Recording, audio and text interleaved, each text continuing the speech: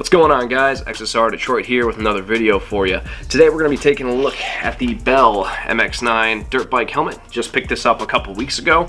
Um, I'm going to show you guys my process for getting a helmet moto vlog ready. Um, this doesn't just apply to dirt and dual sport helmets. This will pretty much work on any full face helmet. Uh, I've got a pile of parts over here, so let's grab them and uh, get to work. The first thing I'm going to put on my helmet is a GoPro mount. I picked this one up from Chin Mounts. This is made specifically for the Bell MX-9, and that's what I like about this company is all of these mounts are made for different helmets, so you know they're going to fit properly, they're going to look good. Uh, it's probably a lot safer than just putting a generic GoPro sticky mount on the side of your helmet. So let's open this up.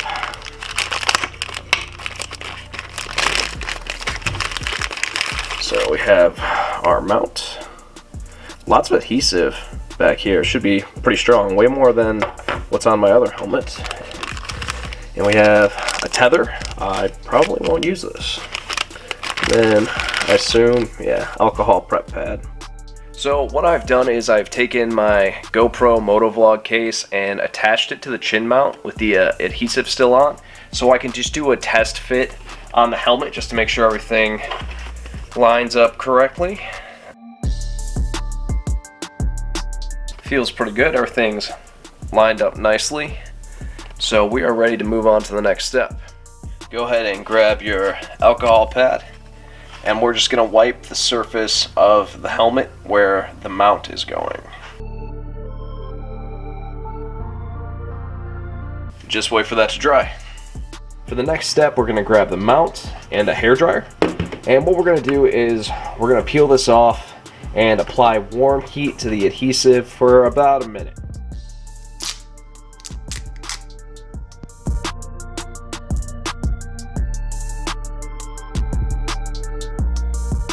Now that I've got my adhesive warmed up, I'm going to go ahead and attach it to the helmet. And I'm going to try and do it by the bottom so I can line it up easily.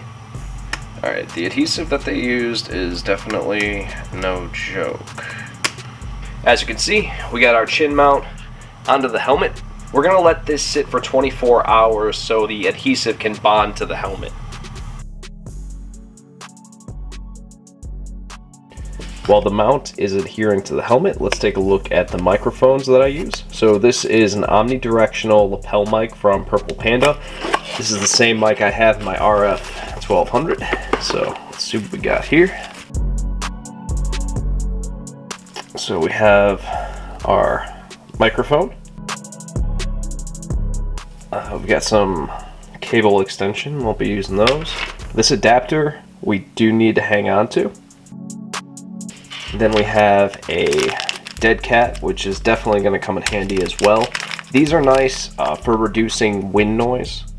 A couple things we need to do to get the microphone ready before we put it in the helmet.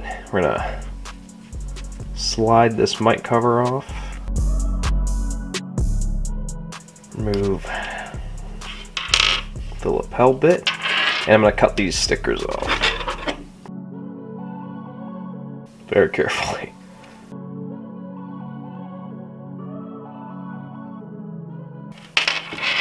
And we're ready to put that into the helmet. Off camera, I removed all the foam from the helmet on the left and right side, you're gonna see three points of contact. On the bottom, we've got two. And then up top on the front, you've got one here and one here. Now, one thing with removing foam in this helmet is up top, it's just held on by cloth. Um, so be very, very careful not to pull on it. Uh, what I would do is work your fingers in and just keep applying pressure until it pops off, but don't tug on the foam. Before I install this microphone into the helmet, I'm going to show you guys a couple things that you're going to need. The first thing, and probably the most important thing, is this adapter that comes with the Purple Panda kit.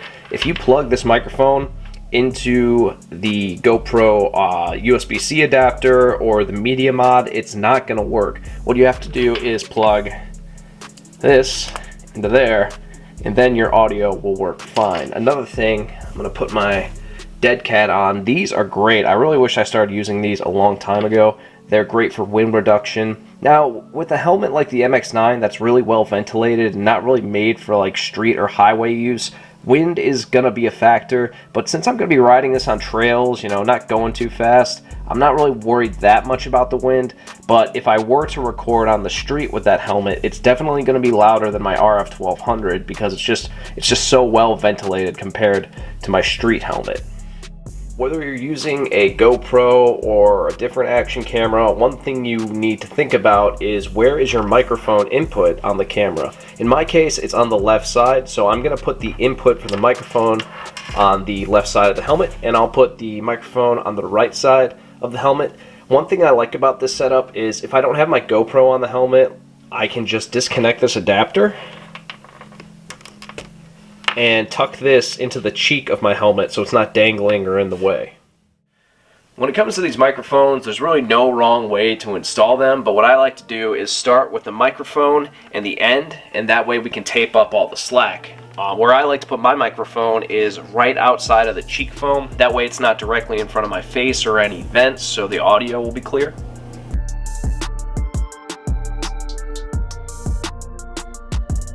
So I've already got my microphone taped up. That'll be held in with the foam. I've got my audio input taped up and what I wanted to do was pop the adapter on and make sure that I had enough where I had a little bit of slack so it's not super tight going to the GoPro and it's looking pretty good so I'm going to continue taping the rest of the wiring in the helmet.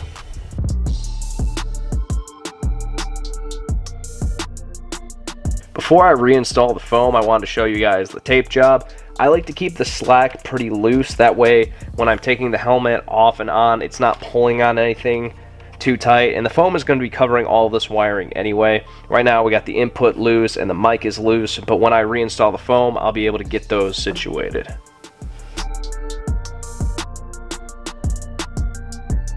Got my foam back into the helmet. I tried the helmet on, everything feels great. Got my microphone tucked into the cheek pad. It's angled up a little bit since there's a vent here. We got our input also tucked into the cheek pad. So at this point, we're ready to talk about action cameras. Regardless of what action camera you go with, you're to need a mount. So what I have is a standard GoPro J-hook and a small joint. I upgraded to aluminum thumb screws because I found that the GoPro thumb screws were cracking on me a lot. And to be honest, when it comes to this material that GoPro uses, this stuff breaks for sure over time. Like you need to keep an eye on it. I've seen a couple companies offer like metal versions specifically for moto vlogging, and I think I'm going to upgrade to that in the future, but this is what I have now. But yeah, definitely keep an eye on these, especially like right in here on the plastic. These things crack and break. These days, there's a, a, decent amount of options as far as action cameras go. I've always been a GoPro owner, so I can only speak from a GoPro owner's perspective. What I have is a GoPro Hero 9 Black, and this case is from Artman, and I have a GoPro USB-C to 3.5 adapter so I can plug my microphone in. Now, there is another option. You can get the GoPro Media Mod, which has a smaller profile than this setup, and it has an onboard mic. And for what I paid for this, I think I paid 20 for the case and then 50 for the adapter. The media mod is $80, so for $10 more, you do get uh, a better onboard mic and a smaller profile. But at this point, I'm not going to spend 80 bucks to just slim things up. This setup I've had for like three years, and it's worked great. All right, let's get this GoPro in the case and get it on the helmet and test it out.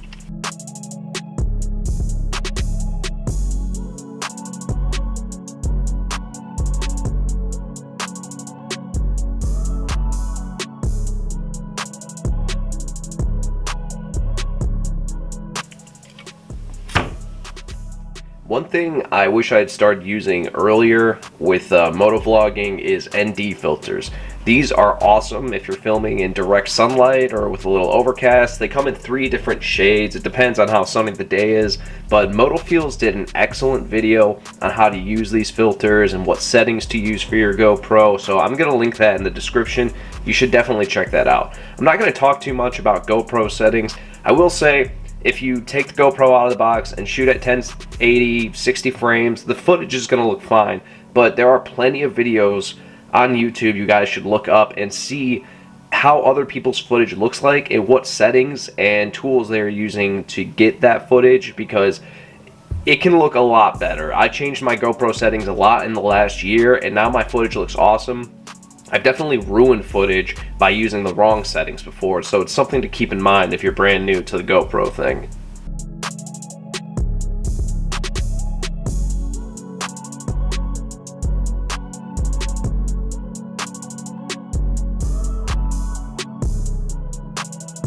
Alright guys, so I've got my microphone hooked up. Everything should be working just fine. This is what it's going to sound like uh, basically when you're not on the bike as far as the microphone goes. Uh, I use this microphone in my other helmet. It's a Shoei RF1200 and it's always sounded pretty good. So I was thinking, since I'm going to do a microphone test anyway, I might as well put the bike on the street at street speeds so you guys can hear it. Now, like I said earlier, this this is a more of a dirt bike, you know, trail helmet, very well ventilated. It's about 50 degrees today, and uh, I am catching all that wind in the face, so I'm curious to see how this sounds at like 45 miles an hour.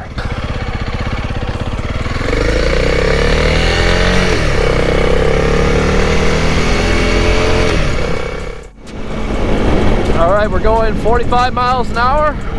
Hopefully you guys can hear me. It's a little loud in the helmet, but uh, I guess I'll, uh, I'll see how it sounds when I'm watching this footage later. That's it for the video, guys. My dirt helmet is officially motovlog ready. I listened to the audio on the street riding video around 45 miles an hour and it sounded a lot better than I thought it would. So I think on the trails when I'm going a lot slower, it's going to be a lot quieter. It's going to sound really, really well. And with the GoPro Hero 9, it's going to look really good too. But yeah, if you have any questions, uh, sound off in the comments section. If you liked my video, please consider subscribing to the channel. And as always, ride fast, ride naked, wear your helmet, and I'll see you in the next one. So I can record my trail rides and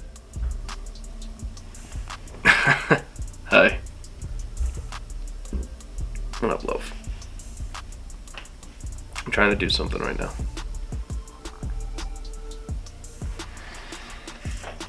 You're getting scooped. You're getting scoped. What do you have to say to your fans? Oh.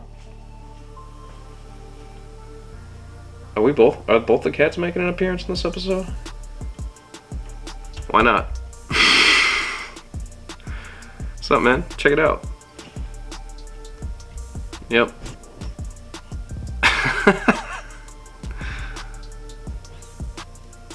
this is what we're doing today, huh?